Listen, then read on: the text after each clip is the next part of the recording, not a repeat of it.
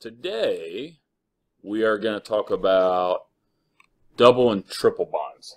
Okay. Um, in some scenarios, we're going to look at our compounds and get our total number of electrons, and then we're going to give everybody their the external atoms their eight, or if it's hydrogen, their two electrons, and then we're going to go, ooh, central atom doesn't have enough electrons yet. So in that case, we're going to have to start swinging some pairs of electrons to make sure that everybody has eight. Now, yesterday with the homework, all the structures had single bonds. What a single bond is one pair of shared electrons, so to speak. When we talk about double bonds and triple bonds, a double bond is two shared pairs, where a triple bond is three shared pairs. We cannot go above a triple bond. Uh, we haven't talked about the mechanics of sigma and pi bonds. We'll do that in AP, but just just know, believe that you can't have anything greater than a triple bond. Wasn't that a great lecture? Let's do some examples. All right, so let's take a look at some examples. And sadly, a lot of the things that we're doing today is a repeat of what we did yesterday with one small augmentation. So the first thing that I want you to do is make sure that you are still writing down the total number of electrons. I'm not so worried about finding the difference in electronegativities. On the homework, you will. But on here, I just want to make sure that we're getting the concept here. So we have two carbons, and how many electrons does each carbon bring? Four. So let's get a total here. And then we have four hydrogens, and each electron, I'm sorry, each hydrogen brings one electron. So that gives us a total of 12 electrons. Who is going to be my central atom or atoms? Yeah, carbon always goes in the middle. So we'll go ahead and say, okay, well, we got our two carbons there and there. And since we have four hydrogen, go ahead and distribute the hydrogens evenly amongst the carbons. So if you want to put one there, one there, one over here, and then like one right there. That's cool. Don't ever do this. Don't ever put it in between. Okay? That makes it a central atom. And it's actually being shared between two atoms, and it just it can't do that because it only has the capability of having two electrons or one um, pair of electrons being shared. Go ahead and give it its electrons. So let's go ahead and do this. So satisfy the external atoms. So in that case here, all the hydrogens are happy. They have their two electrons. Now, how many electrons do I have represented right now? Eight. I need to add four more. So if you go like this and say, okay, that's cool. I don't know why you do that, but if you did that, um, one of them is, but the other one is not. So when we look at, say, this carbon right here, how many electrons does it have? Six. How many does this one have? Eight. And I, I have this saying, the one doing a Lewis dot structures. The one with eight is the one that you're going to manipulate. So what we're going to do is we're going to need to take this pair, and actually I'm going to need to redraw it. Take that pair and then put it in between. Now keep this in mind, whether it's on accident or on purpose. If you put electrons between elements, whether it's central or external atoms, they are sharing them. It's going to count for the mix. So how many electrons does this carbon now have? Eight. And that's why it's a good idea to go ahead and circle it up and say, okay, it's got its eight electrons. How many electrons does this carbon have? It has eight as well. So when we have our eight, everybody's happy. And then go ahead and circle it up for the hydrogens as well. Okay. Now, looking at the partial charges, okay, they're not sharing these electrons evenly. Um, carbon has a value, actually, let's put it up here. Carbon's a value of 2.5, hydrogen's a value of 2.1, so it's a difference of 0.4. So who is going to be partial negative here? Carbon, because it has a higher value. So we assign the the more negative charge to the element that has the higher electronegative value. And then hydrogen is partial positive. Okay. Yeah. Okay, so again, that pair right here, actually, do that. So the pair of electrons right here were originally up here. So, and that's just where I placed it but that gave this carbon eight electrons, but this one only had six. So we needed to swing a pair over. It would have been nice if both came over. So we need to swing and have a double bond in that case. Why did that one have eight? Why did the other one have eight? That's just where I initially put it. Oh, one. So once you are drawing this out, it's always a good idea, satisfy the external atoms, whatever's left, dump on the central atom, or in this case, central atoms. And then look at it and ask yourself, does everybody have eight? If not, start moving pairs of electrons until everybody has eight. Okay, let's do another. Ooh, that's a favorite this time of year, carbon monoxide. All right, so let's get the no, total number of electrons. Carbon brings how many electrons? Four. And oxygen brings six. That gives us a 10, total of 10 electrons. Now, we only have two elements, but I still like to say somebody is a central atom. If I were to say somebody was a central atom, who would I put in the middle? Carbon, yeah. So, carbon's in the middle. And by doing that, you can still go ahead and say, okay, well, let's satisfy the external atoms. So if I give my electrons, or make sure that oxygen, which is an external atom, give it its eight electrons, then I can say, okay, I've got eight electrons on there. How many electrons do I need total? 10. So I'm going to put the others on the quote-unquote central atom. Now, don't do this. Don't put those elect don't put those electrons here. Why? That would give oxygen 10, and we don't want that. So we want to make sure that we have no more than 8 electrons.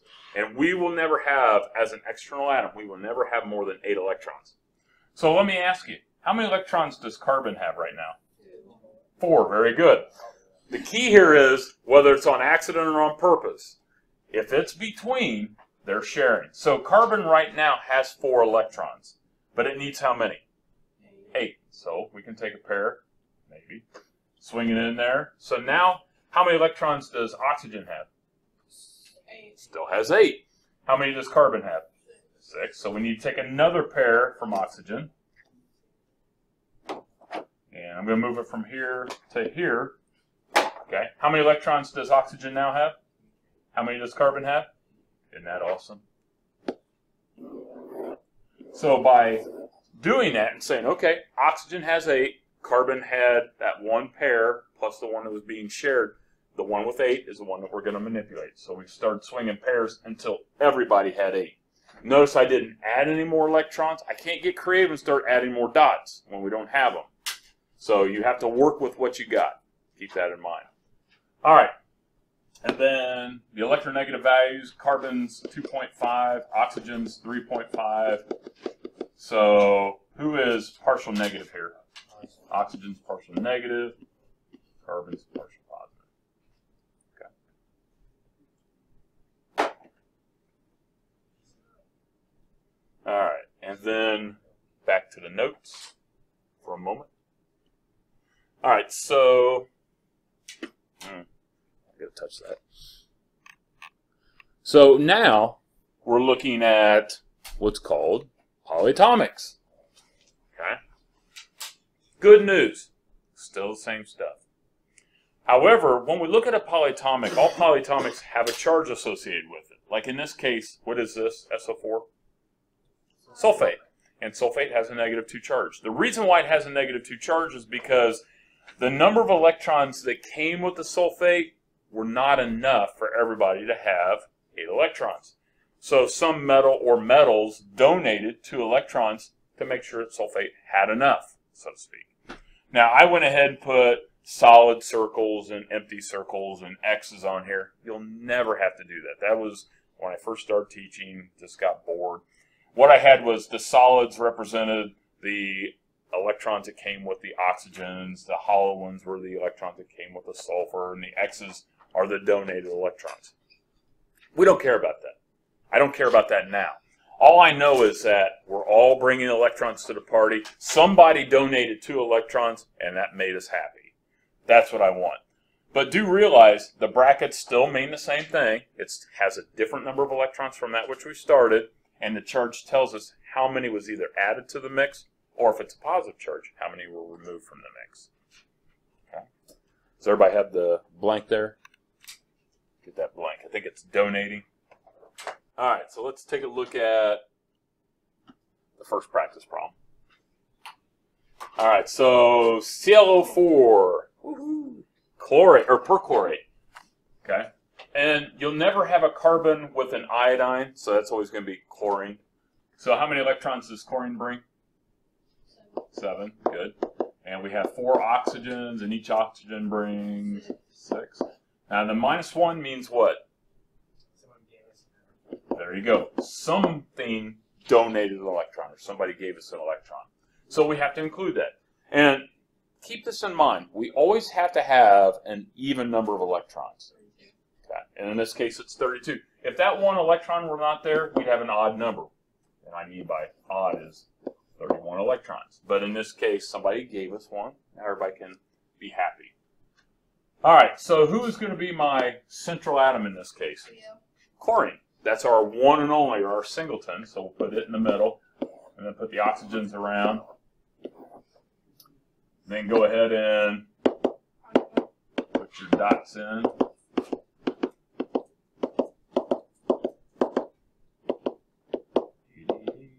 How many electrons do I have shown? 32. Does everybody have eight? Yeah. All the oxygens have eight, and the chlorines even have eight. Okay, so that's why we circle here at the beginning to make sure that we can visualize it. Everybody has eight electrons. Now, that's all fine and dandy, but are we done? What do we need to do, David? Brackets. Because we have to tell everybody we got a different number of electrons from that which we started. In other words, 31 of these electrons are due to the chlorine and the oxygen. Well, one of those, and we don't care which one, was donated. So we got to tell everybody that somebody donated to the cause here. Okay. And then if you're doing the charges, uh, chlorine is like 2. Point, oh boy. What is it? 3.0, thank you. And oxygen's 3.5, so so the oxygen is negative, and the chlorine in this case is the positive. Okay. Yeah. Yeah, Celeste. You're fine.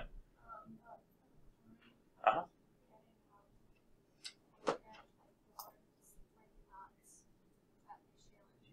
Okay, so by making sure that the external atoms have their eight electrons, we are accidentally satisfying the chlorine. So whether it's on accident or on purpose. So like here, these electrons in between, they are sharing them. Yeah. Yeah. Okay. All right, let's take a look at another. Is this our last? Oh, we have two more. Good. All right, NH4. So nitrogen brings five electrons, and we have four hydrogen, and each brings one. What's that plus one mean? We lost one. We're losing one. Good. So we have to subtract one. And if we did not subtract that one, we'd have an odd number. In that case, it would be nine. And then it gets really weird. Yeah, Naughty. Our screen is flashing like crazy. That means you're dying. Yeah, it's been charged the whole time. I'll send you tech here in a few minutes. All right, so we have a total of eight electrons. Who's going in the middle? Not hydrogen, so nitrogen, yeah. So nitrogen, and then put it around the horn here. And then hydrogen gets two, right? Why does hydrogen only get two, Celeste?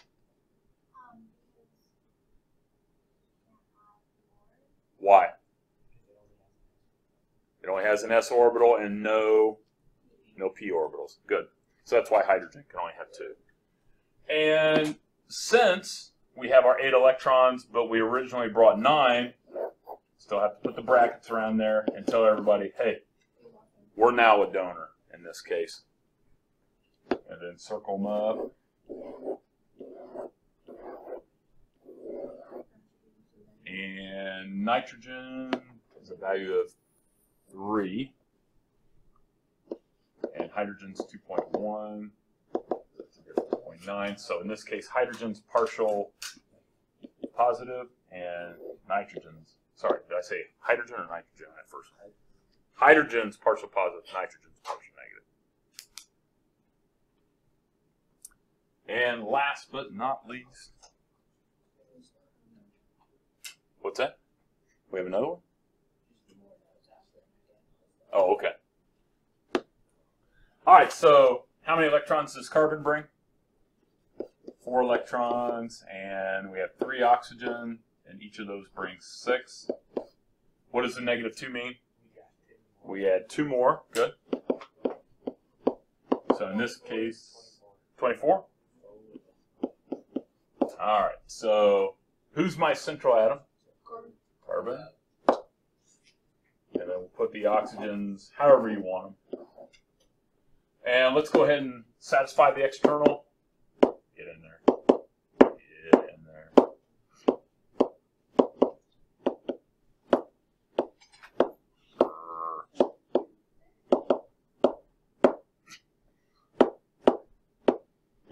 My goodness. All right, 24. We done? Brackets, okay. Let's put the brackets around. Oh, carbon does not have eight. Very good. So what do we need to do? From where?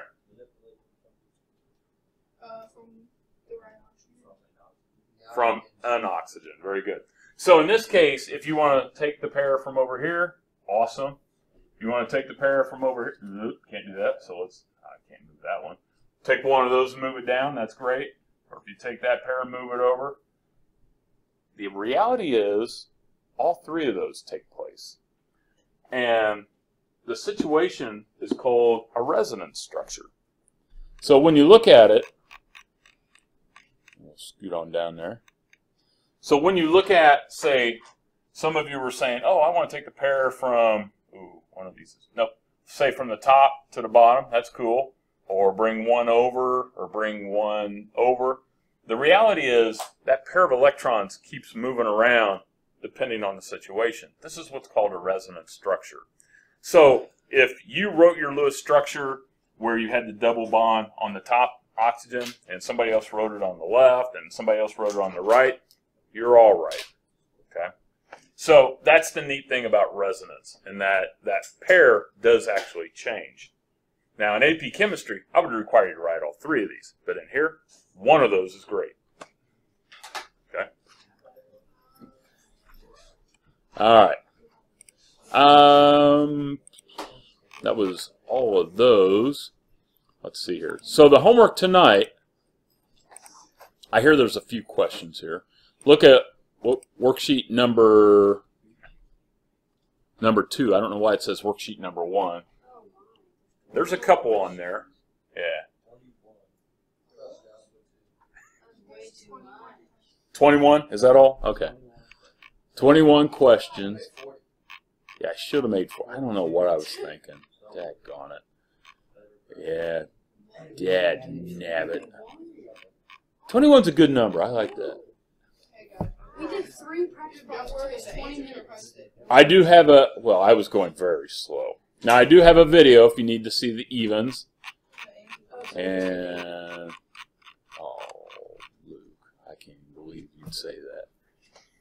So that'll be good practice. Uh, very good practice for the quiz on Thursday. Or, sorry, Friday. Friday. My bad. Any other questions? Okay. All right. Be productive here.